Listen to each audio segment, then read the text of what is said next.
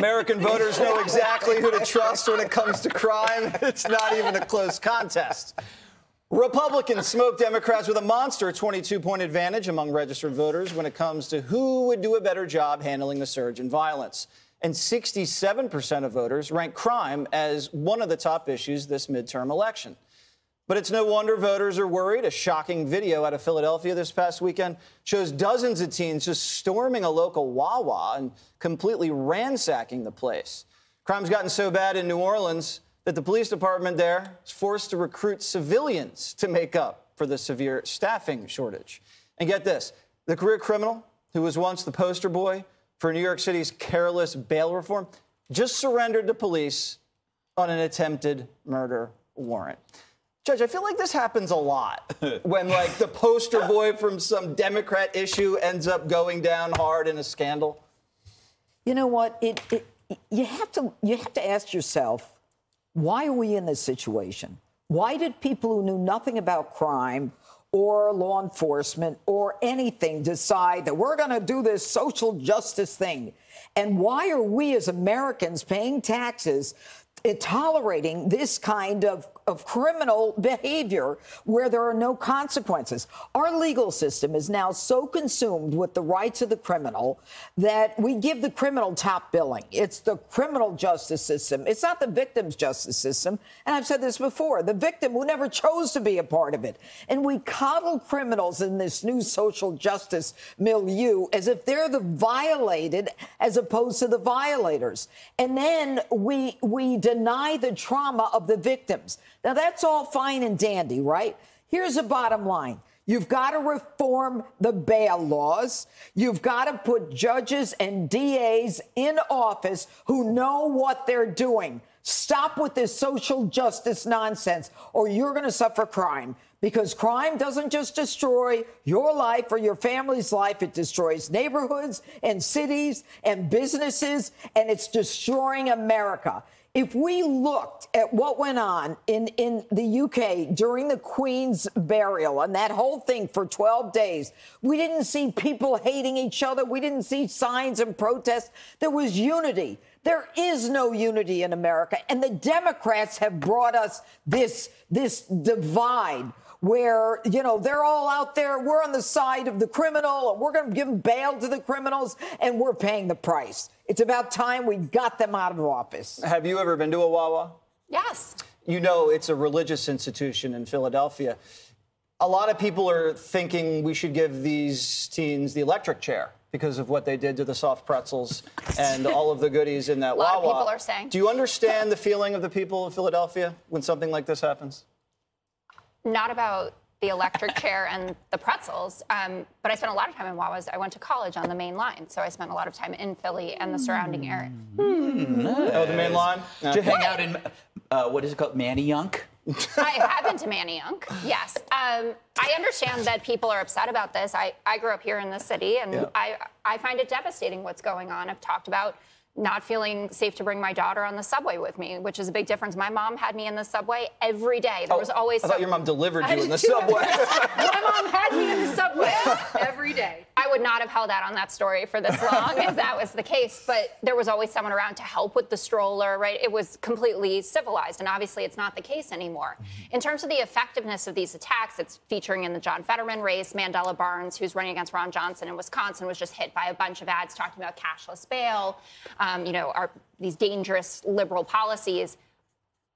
We've yet to see if it's going to be effective in terms of what happens in the midterms because I think that Republicans haven't been necessarily able to close the loop to say we are for some reforms. We believe in social justice reform, but we think X, Y, and Z. Social, hard... social justice what reform? Social what is that? What is social? Somebody tell me. What is it? Well, it's making sure that people aren't incarcerated for crimes that they shouldn't be. This That's what, what the criminal justice system is to decide who's guilty and who's not guilty.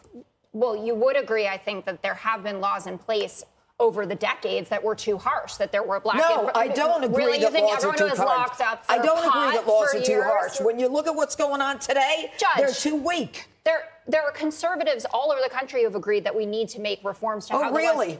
Uh, like? Rudy Giuliani. All right, Rudy Giuliani, who was the toughest prosecutor this city has ever seen. Right, but who also talked about the fact that we had people All right. unfairly. Well, give me an idea. What do you want to change? Are we moving? Are you want? What do I was waiting change? for you to say something, but if you don't have anything you want to change, I'll go to Ainsley. Ainsley, she brought up that people are locked up for pot. They always trot that out. I just don't see that Because it's really true. happening. Basically, you basically have to murder someone to get arrested and stay behind bars in New York.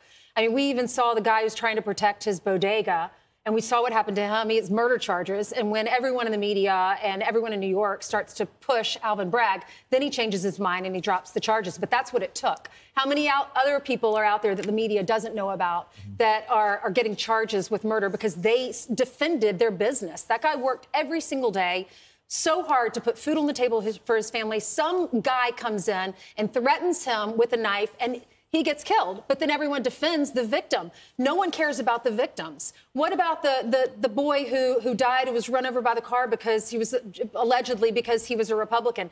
The mom and dad had to bury him and they said, We will miss you every single day. And the guy is walking the street who does this. You know, this is what we hear time and time again. And one day it's going to be your child or our children. God and that's what. I worry about. We live in New York City. I have to think about that when I go outside with my six-year-old. I live in your neighborhood. My friends see you walking, uh, walking your your uh, the stroller, and they think you're cute.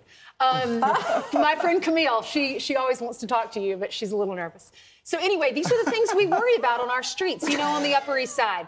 Um, and that bothers me, but you're right. We coddle these criminals. What do we expect? When the Democrats say no bail, when they say defund, dismantle, when they say reimagine, when they say release these violent criminals, we are coddling them. And that teaches them that you can go into a store, a Wawa, do whatever you want, and you're never going to be pressed. Charges are never going to be pressed against you. Look in California, San Francisco. We saw all those beautiful stores that are robbed, and they walk out. As long as they don't take $1,000 worth, they're free.